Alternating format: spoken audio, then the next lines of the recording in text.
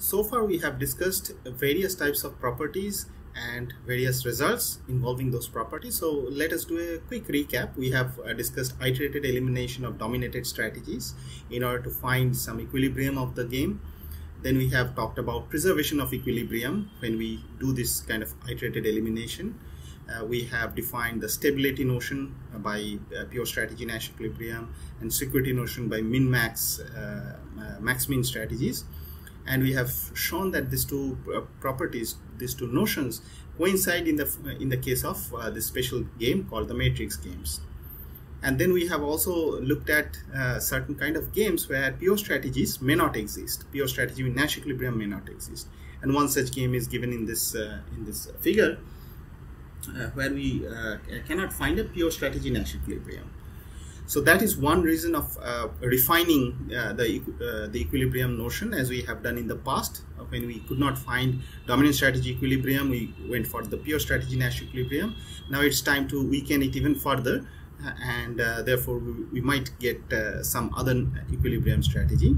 And also from a from an application point of view, if you think about the, the first example that we have given for the neighboring kingdoms dilemma, uh, you, we, uh, we have seen that uh, we, we just made an assumption that the kingdoms can either invest entirely on agriculture or on warfare. That is for, that was for simplicity. But in practice, uh, there are cases where the, the whole resource of a specific kingdom can be divided maybe equally between these two actions, uh, agriculture and uh, warfare, or maybe one third and two third. How should we represent that in the form of a game? So to uh, denote that, uh, we now come to the world of mixed strategies. So as the name suggests, informally, uh, this is a probability distribution over the strategy, uh, strategies. So uh, instead of picking the strategies as pure, we are just mixing uh, them, them and we are doing this mixing in a probabilistic way. So in this, in the same example, we can say that the player one is mixing these two strategies L and R yeah, in this proportion two third and one third. So with probability two third it will pick L and with probability one third it will pick R. Similarly, the other player will pick this uh, uh, two strategies uh, with probability 4, 5, 4 by 5 and 1 by 5. Alright, so let us make uh, uh, our notation a little more uh, clear to, to formally represent all these things. So suppose we have a finite set A and then we are going to define this delta of A uh, as as the probability distributions on this set A. So what does that mean? So we have a vector. So P is a vector. So suppose A has uh, has three elements. Let's say A1, A2, A3. Therefore, P will be nothing but uh, a, a vector of length 3 uh, each representing each of these uh, elements in A and uh, they should sum to 1. So let's say 0 0.2, 0 0.3 and uh, 0.5 and 0.3. So that that is one valid entry uh, in this uh, uh, in this set delta of A which is the set of all probability distributions over A. Now what is a mixed strategy for player I? So sigma I with which we are going to denote the mixed strategy of player I is a member of delta of SI. So SI in this case is the uh, finite set and what we are going to say is that uh, the agent I is putting certain probabilities on all these strategies that is available to it. And we are doing it in such a way that uh, the sum this is always non-negative and it, it sums to 1 a very simple uh, definition uh, and because we are discussing non-cooperative games that no player is actually uh, talking to each other and uh, sharing information before taking their decisions uh, they choose their strategies independently and therefore the mixed strategies are also chosen independently. So all these probability distributions are actually independent of each other. So when we are talking about the joint probability distribution of uh, player 1 picking S1 and player 2 is picking S2 that is just given by the product of the individual marginals. Uh, similarly, uh, these are all analogous definitions. So when we are using the utility of a player i at a mixed strategy profile, sigma i and sigma minus i, and sigma i is nothing but uh, one element in that delta of uh, uh, capital SI. And similarly for all the other players, if you um, list out their strategies, their mixed strategies, that vector of mixed strategy profile except player i is denoted by sigma of minus i.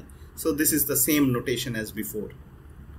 So how do we define, uh, how do we uh, write the utility of player i when the players are picking their mixed strategies?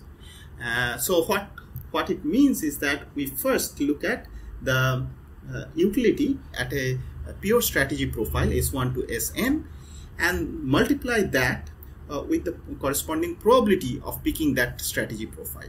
So because these are all independent, this will just be products and then you are going to sum over all possible strategies of all these players. So therefore you are getting an expected uh, utility over all the strategy profiles where the expectation is taken with respect to this probability distribution uh, according to their mixed strategies.